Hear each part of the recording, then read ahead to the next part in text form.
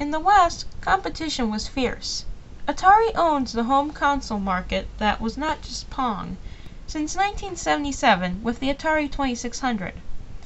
Though they released the Atari 5200 in 1982, many people stayed with the primitive 2600. In 1984, Atari would release the Atari 7800, but the video game crash led to low sales. So Nintendo was walking into an already established empire in a recession? Yes! Atari wasn't Nintendo's only competition though. Sega came out with the Sega Master System in 1986, only one year after the NES came out in the West.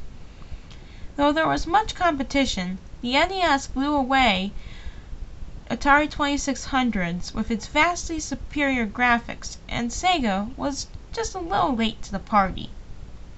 That is until 1989 when Sega released the first major 16-bit console, the Sega Genesis. It had far superior graphics, audio, and processing speed compared to the NES, and began the Sega Nintendo war of the early 90s, which still continues to this day, though it is much subdued. Atari was shoved onto the back burner since they had no mascot like Mario or Sonic the Hedgehog to appeal to parents and children alike. They fell out of fame and household recognition.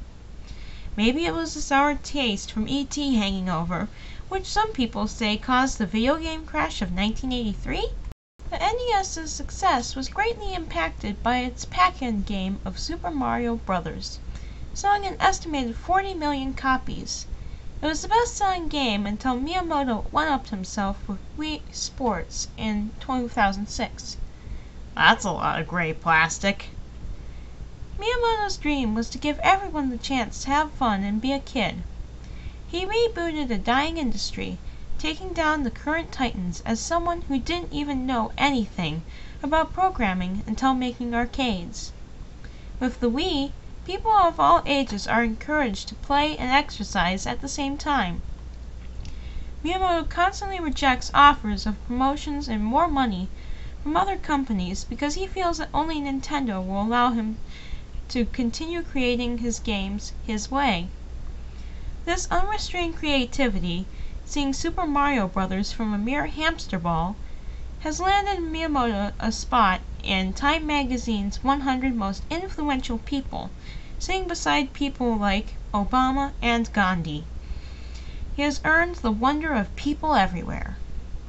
So then, Shigeru Miyamoto wasn't the first in video games, but he might as well be the face of modern gaming? Without Miyamoto, we likely would not have the Wii or Nintendo DS. No Mario, Link, Fox McCloud, Captain Falcon, Captain Olimar, and many others the whole video game industry would be very different, smaller and more obscure. It might not exist at all.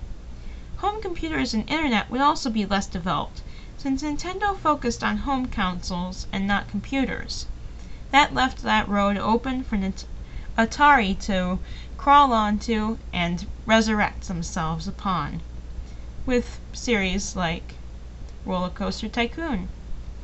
Shigeru Miyamoto proves that video games are more than child's play.